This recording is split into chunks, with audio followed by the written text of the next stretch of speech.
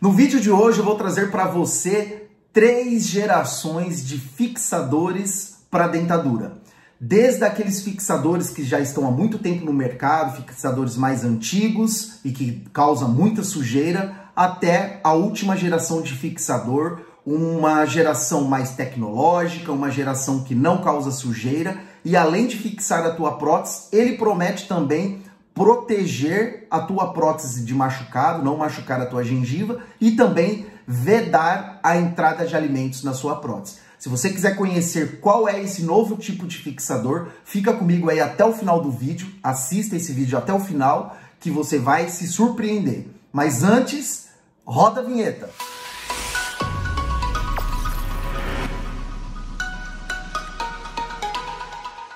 Fala pessoal, tudo bem com vocês? Eu espero que sim.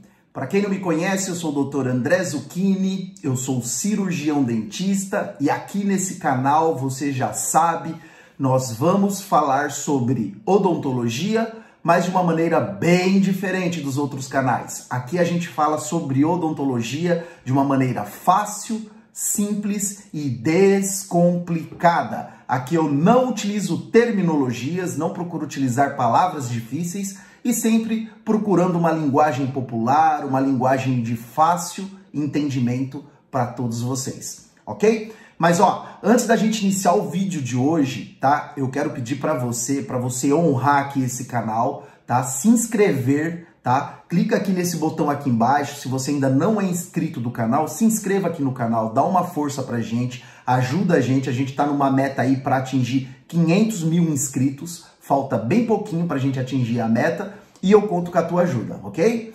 E no final do vídeo também, se você tiver alguma dúvida, me quiser, quiser fazer alguma pergunta para mim, utilize aqui o campo dos comentários, deixe uma pergunta, que eu vou ler todos os comentários e, na medida do possível, responder todos vocês, tá bom? Mas vamos lá, vamos já pro, pro vídeo de hoje. Hoje nós vamos falar sobre as gerações de fixadores para dentadura, tá? E já começando, é, por que, que eu escolhi o tema desse vídeo? Muitos e muitos pacientes me perguntam, né, com relação a, a, como fixar a prótese, qual o tipo, o melhor tipo de fixador a se utilizar. Eu vejo também que há muitas dúvidas dos pacientes com relação a é, o fixador em pó, o fixador em pasta, ele causa, ele faz algum mal para o paciente, pode causar úlcera, pode causar câncer, enfim, tá? É, então nesse vídeo eu já vou esclarecer tudo isso para você e mais, vou trazer a última geração de fixadores, tá?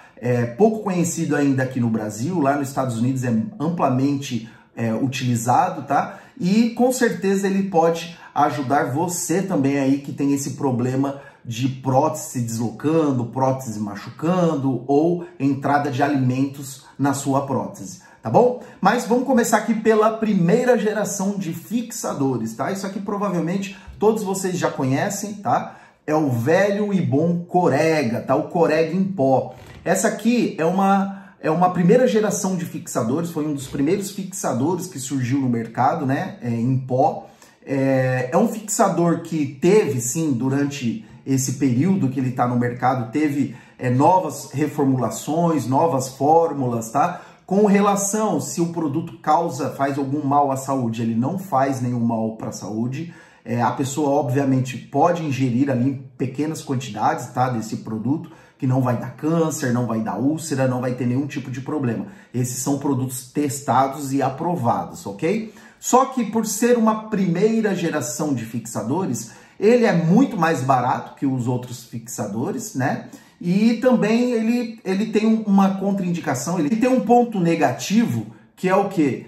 Ele, ele causa muita sujeira. Então eu vejo muitos pacientes reclamando que o que? Quando você vai pulverizar ali né, o, o pozinho sobre a prótese, depois que ele mistura com água ou ali com a saliva, ele acaba criando uma gosma, acaba criando uma, uma, uma melequinha ali em cima da prótese e isso acaba incomodando muito os pacientes. Então esse é um ponto negativo desse tipo de fixador.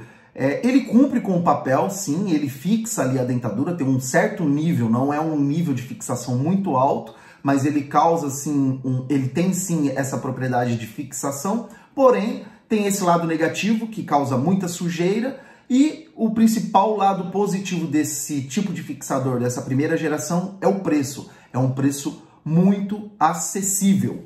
Depois desse tipo de, de, de pó, né, de, de fixador de primeira geração, veio os fixadores de segunda geração, que já são os fixadores em pasta, tá? Então, esse aqui é um exemplo, tem a Fixodente, tem também do Corega, enfim. É um tipo de fixador um pouco mais caro do que os de primeira geração, é, causa um pouco menos de sujeira, né, por ele ser de pasta, é, então é fácil a aplicação, não precisa utilizar muito material para esse tipo de fixador. É, você pode colocar ali em três pontos da tua prótese, né? Um pinguinho anterior na parte da frente da prótese, outra, outro pinguinho lá no fundo de um lado e outro pinguinho no fundo do outro, tá? E se você quiser ainda reforçar ainda mais, você pode também colocar uma pequena porção bem no meio da prótese. Isso vai ajudar muito na fixação. O ponto positivo desse tipo de fixador de segunda geração é a fixação em si, ele tem uma fixação maior e mais prolongada do que o pó, então ele, ele, eles são para casos em que o paciente é, tem uma perda de osso maior, a prótese ela não está muito bem estabilizada, então ele tem uma tendência a fixar muito mais do que os fixadores de primeira geração, tá? Esse é o ponto positivo. O lado negativo desse tipo de fixador é o preço, tá? Ainda é um, um fixador um pouco mais, o preço um pouco mais elevado do que o, os de pó, porém é, tem, como eu disse, uma fixação maior. E por final a gente chega nos fixadores de terceira geração, tá? Que são chamadas as almofadinhas, tá? Para prótese. Então é um tipo de fixador é, já amplamente utilizado nos Estados Unidos. Existem várias marcas, tá? Tem a Ciabond, tem, enfim, é, tem a Almofix, essa aqui que é a Almofix, tem... E nós temos também o Algazive. Então, que eu conheço são três marcas, é, são marcas importadas, tá? O Ciabond e Algazive são marcas importadas. Acho que você deve encontrar aí no Mercado Livre. É, geralmente o preço é um preço um pouco maior, acima de 150, 200 reais, tá? É, são 30 almofadas, ele tem tanto superior, então esse aqui é o modelo da superior, para prótese superior, e eles têm também um modelo para prótese inferior. Como que é esse fixador de terceira geração, tá? É, ele é um, um tipo de fixador que ele é como se fosse uma almofada.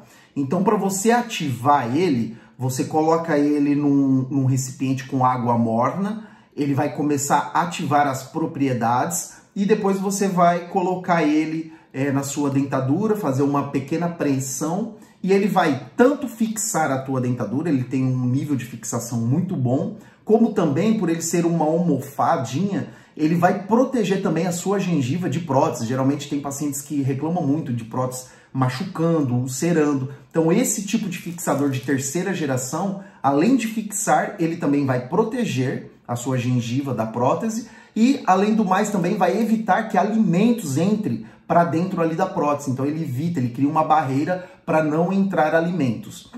Obviamente, é um tipo de fixador um pouco mais caro que os outros dois, tá? É, mas eu vou deixar aqui para vocês. Esse é um fornecedor nacional ele tem um preço muito competitivo, bem menor, quase que a metade do preço dos fixadores de terceira geração importados e tem uma, uma efetividade, uma eficiência igual aos fixadores de terceira geração importados, tá? Então, eu vou deixar aqui é, nos comentários aqui o, o link para compra, porque muitas pessoas me perguntam, né? Quem é o fornecedor, aonde encontrar esses produtos. Eu vou deixar um link aqui nos comentários. Você clica lá e, se você tiver interesse, pesquisa sobre o produto. Mas é um produto que, é, inclusive, eu já gravei um vídeo dele, vou deixar aqui no num card aqui em cima, um vídeo ensinando como é que coloca, né? Como é que, que, que, que, ele age na boca, é um vídeo mais detalhado sobre o produto. Então, se você tiver interesse, clica aqui no card aqui do lado e assista esse vídeo. Enfim, esses são os três tipos de fixadores para prótese. Espero que você tenha gostado. Se esse vídeo foi muito importante para você, se você gostou do conteúdo, deixa aí o seu curtir e principalmente não esqueça de se inscrever no canal. É muito importante, você vai me ajudar muito a bater a nossa meta de 500 mil inscritos, ok? E também é, você se inscrevendo no canal e ativando ali as notificações no sininho, sempre que eu postar vídeos novos, dicas novas aqui, você vai ser o primeiro a ser notificado desse vídeo, tá certo? Posso contar com a tua ajuda? Eu tenho certeza que sim. Bom, espero que você tenha gostado do vídeo de hoje, um grande abraço e até o próximo vídeo.